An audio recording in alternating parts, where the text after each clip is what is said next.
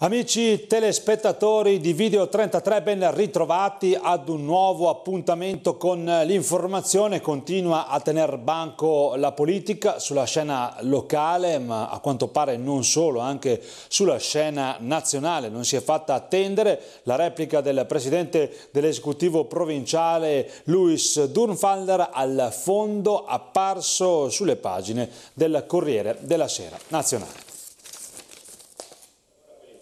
Per il secondo giorno consecutivo le questioni altoatesine sono alla ribalta delle cronache nazionali. Stavolta, ai noi, non si parla, come spesso avviene dell'Alto Adige sui Tirol quale modello da seguire per chissà quale motivo. Stavolta è purtroppo lo scontro etnico a tener banco sulla scena nazionale, niente di meno che sulle pagine del quotidiano più letto del bel paese. Sull'edizione di venerdì del Corsera il fondo di Galli della Loggia sulle contrapposizioni etniche particolarmente accentuate nell'ultimo periodo in Alto Adige il giorno dopo, sempre dalle colonne del quotidiano di Via Solferino, eccoti la replica firmata Luis Durwalder. Il governatore altoatesino non nega la svolta a destra dell'elettorato, ma dice a chiare lettere che il partito di raccolta sud-tirolese è una formazione politica assolutamente moderata e autonomista, ma che rifiuta i relitti fascisti.